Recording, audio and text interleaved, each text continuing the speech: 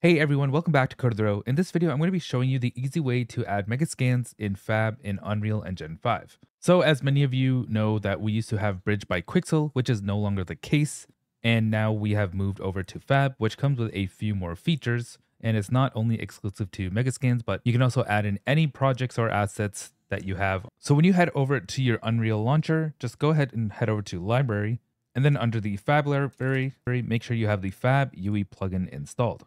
Go ahead and click install to engine and look for the version that you're looking to install for. So I'm going to add mine to a 5.5 version. So simply clicking install the plugins, you can see the Fab UE plugin over here. It's already installed to my Unreal Engine 5.5. And then I'm just going to go ahead and open a third person project in Unreal Engine. So the easy way to just simply add megascans into your project is I have this default third person map.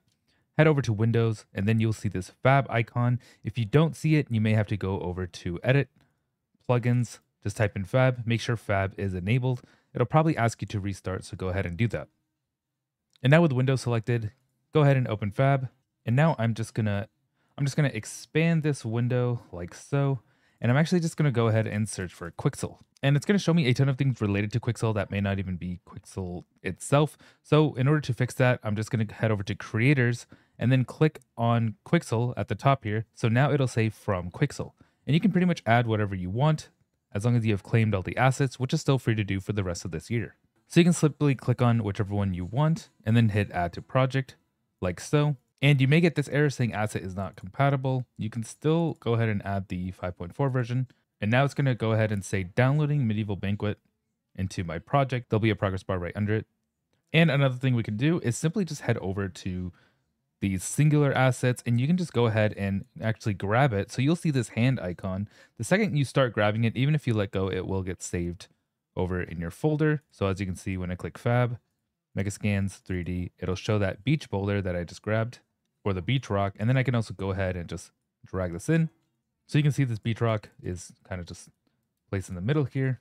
I can scale it up and you can easily kind of just drag in assets and really make whatever environment you want. At this point, I'm not really trying. I'm just dragging in whatever to show you that it can be simply just that easy.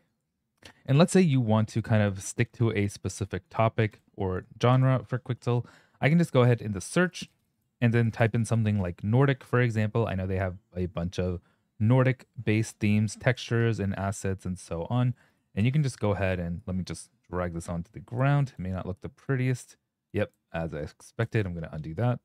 But I can go ahead and add these assets that are kind of in tune with the same theme, just as an example, like so. So this is the Nordic stuff. As you can see, everything has the word Nordic Forest in front of it.